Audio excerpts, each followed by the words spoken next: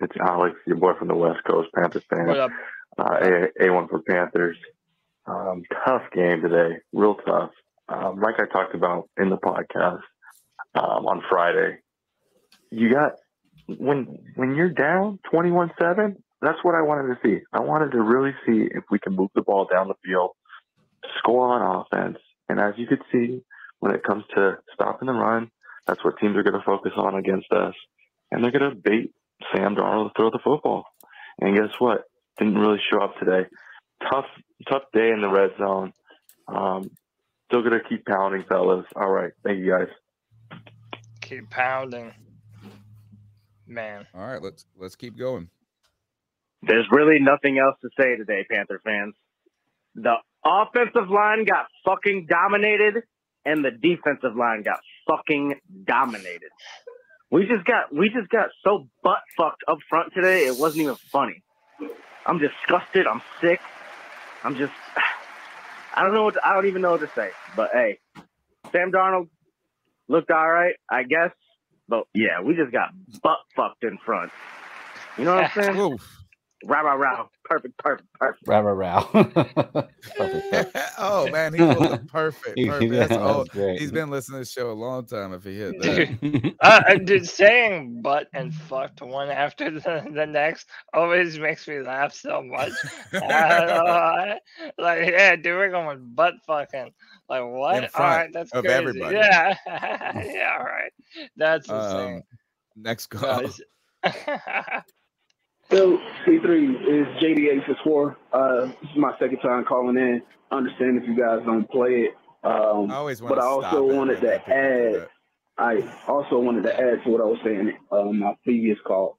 Moving forward, I would like to see, I think uh, we're going to see, and I would also like to see a more balanced attack from the offense because today the run game was stymied. Um, I was just looking at the stats and like it, it, it was bad. I think Foreman had 10 carries for 10 yards. So you, you you're not going to win games like that. And we've seen uh, previous games where our run game carried the offense. So I think moving forward, especially with what Darnold did today, he was Darnold was was pretty uh, he was pretty on point. Remy, do you really have to do all that? Yep. He knows you're making a cat Uh, call, I, like my, my kids, they choose the be- the best time to start making noise for absolute no reason. But um, I, I like it. I like what I saw out of Darnold. Um, offensive line chose a bad time to have a bad game. Um, Yeah, good. but yeah, I think going forward we can we, sayings we can still make some noise, uh, get more of a balanced attack out of the offense. Uh, Darnold actually looked uh, competent this shit. Uh, he threw for over 200 yards. Some of those yards came in garbage time. But yeah, uh, moving forward, I think I think if, if you get more of a balanced attack from the O, uh, the Panthers are still in position to make some noise. Like I said, disappointing loss, but it is what it is. Win some, you lose some. Uh, hopefully, the guys learn from it, get back after it, uh, stay hungry.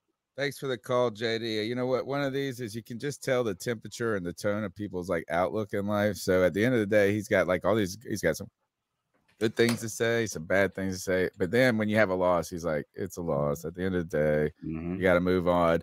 And then we're probably going to get a call in two seconds who has the same kind of points, which is to make the same points about the line, the lose, this and this. At the end of the day, and go, we got to blow up the whole world. You know, like they just come Yeah. to two completely in conclusions about what the meaning of the same event is. Uh, let's keep going with the calls.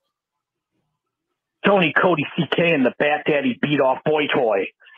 This team Oh my is God. overall, and the question if we should keep Steve Wilks as permanent head coach has been answered. that was crazy. This team was out Mhm. physical today, out coached today, and just outplayed today.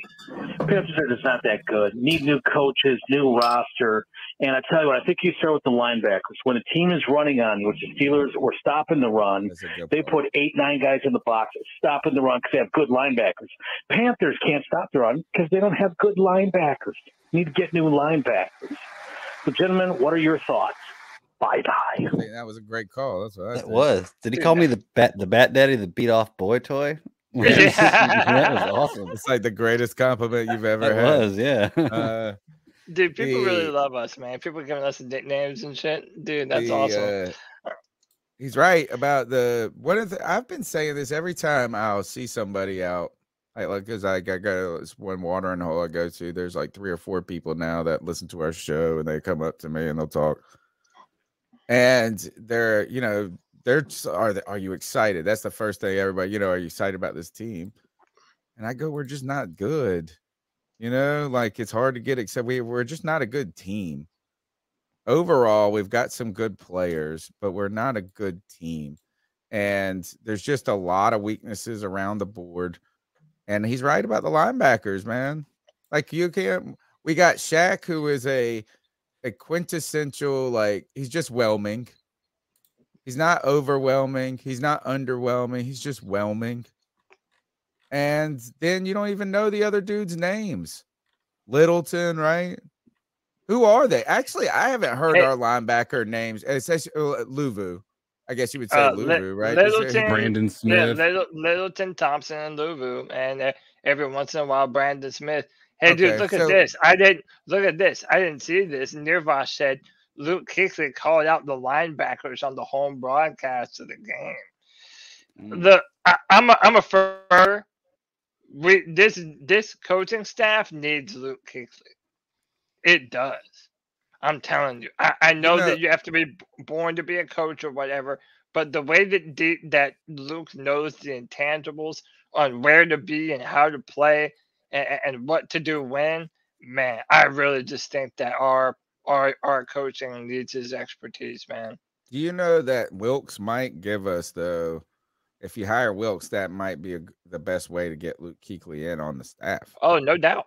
And No here's doubt. another thing: is that you guys, uh, one of the callers brought up offensive coordinator for the Lions, which is Ben Johnson. But here's the thing: is Deuce Staley is assistant head coach, so he's listed as like the highest other than anybody when it comes to. But it's it's assistant head coach and running backs coach Deuce Staley is the number one coach on the offensive staff, and then it goes offensive coordinator Ben Johnson, offensive.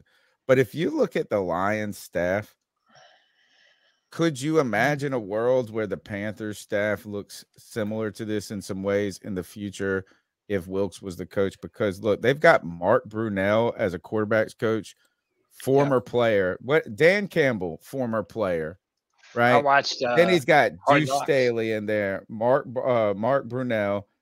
Antwaan Randle El is a wide receiver coach for them. He was a player. All of these dudes were players in the league. There's a lot of players. And maybe you get in. I wonder if that's going to be trendy now. Saturday head coach, Dan Campbell. But Tony, now- you didn't want Ken Dorsey because you're like, oh well, he has Josh Allen. he was a So bad co- player, though. But how is this not a one year wonder? Like, all it takes is one good year, and then people are like, oh, yeah, the Lions' offense is really good, so I want that guy. Why? Like, No, I'm not saying that they're great. I'm just saying like if you a- look at the comp, I'm not saying that I want to be the Lions or that they're even that great. I'm just saying the composition of their coaching staff has a lot of former players. right, more right, so right. than you would have seen in past years like now or maybe i'm just to the point where i know these players where i'm old enough where i watched and had and i had antoine Rel- and randall yeah. l on my coaching staff i mean on my fantasy team I was gonna say, yeah, we drafted them in fantasy. yeah, so i mean i think part of it. that's what it is It i would- had Deuce Staley on my fantasy team in the past so i just i'm just sitting here going now thinking about the iteration of a Luke Kuechly maybe one day who would be maybe you have a Greg Olsen one day. I mean, now I know he's in broadcasting or somebody. I don't know. Just I want to know. No, I hear what you're saying, and it would be cool to have some Panthers come back in and and coach for us. That would be cool. But I mean, I, I don't know. We're, we're if we're gonna do this thing where it's like, ah, okay, not Steve Wilks. Which, by the way, I'm not out on Steve Wilks. Like, Me I'm either. not saying Me that I am. No, Yeah, I I, still don't think, he's a reasonably good choice right Yeah. now. And and like I said, I think that if if he continues to put up decent performances, I think he has to be in the conversation, like Kev was saying. Um, but at the same time, like if we're gonna go out and get a coordinator, like I want to know why we're signing him. What kind of offense does he intend to implement that would make this team better or different than it was. You know, and I'm not. I, I don't just want to jump on the next the next trend. You know, of oh, Yeah. it's the Lions OC or the Philadelphia Eagles Or OC. Ken Dorsey. So can can I ask you then of the what kind of They're all part of the conversation. Okay. Can can I ask you then, Cody? What kind of an offense would you want a new head coach to come in and build? Like, what's your vision? Ooh, Do you want to have a? This may be a Tuesday question, something for us to think about for Tuesday. yeah. But like, if if you have a head coach come in, what kind of offense do you want them to put forth for Carolina, and that that we have the ability to do with the players that we have? That's a good Tuesday. to be question. honest, I think that we can a little bit like what Shanahan runs. I don't mind being a run first football team, but one of the reasons why they wanted to upgrade away from Jimmy Garoppolo is to consistently hit those deep passes that their offense inevitably schemes open because they run the ball well and so smart. I think that would be fantastic. Um, I'm also not opposed to a West Coast style offense if we do have the right personnel to be able to do so. Either way, it means that you have to continue and bolster this offensive line so that you can run whatever kind of offense you need to to, to pass the ball effectively, to run the ball effectively. I, I- really think it all starts with the trenches, and that's what we need to do. Continue in, to invest on this offensive line. And Kevin won me over, your illegitimate son, Tony, because he had the recommendation earlier in the year trade Taylor Moton, put Cade Mays at left guard, put Brady Christensen at right tackle, and get some kind of trade value for Taylor Moton. You ain't getting Dude. none now. Yeah, yeah man. You're right. I, I think Taylor Moton is the weak link on our offensive line this year, and I've been saying Well, that. you know, I mean, he's getting later in his career. You know, like he's yeah, not starts that like- old. not that old, but he's not young either. I mean, he's been Yeah, I around mean- here since Yeah, compared to the rest of our 2017, line, right? he's not not young, so, 2018, yeah. somewhere in there. And I Um, think that we're wasting Christensen's tackle abilities.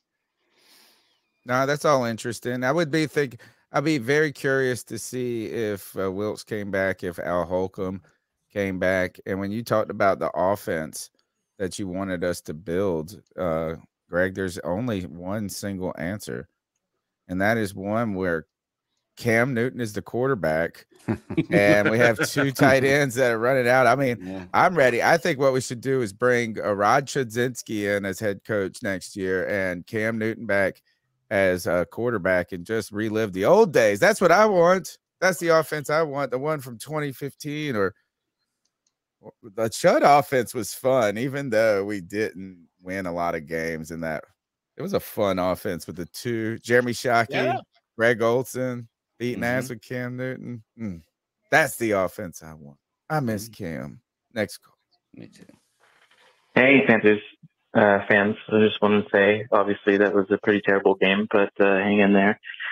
Uh, just a few quick notes I want to go through. Um, yes, obviously, they did look awful. I'm not going to point out the obvious. I think that you all, you four of you kind of just covered everything. But ultimately, I think what happened here was that the Panthers started to plan to play against the Steelers, and then the Steelers planned they kind of predetermined they knew what we were going to plan for effectively and then just countered it and what we should have gone into this game doing is instead of we should have known that okay they know we're going to be running the ball a whole bunch. Well let's go into the game and flip this a little bit and and you know come out with with uh you know going tackling it in the air. But ultimately you know just terrible all around. And they did have some really good passes over to like DJ Moore's picked up some good yardage. That's how we should have come out the gate instead of trying to cram it down their throats in the run game. We should have, I don't know, they, they just did a better job planning against us with this whole thing. Anyway, um, hopefully the Bucks lose today. We'll see. All right, keep pounding. Keep pounding.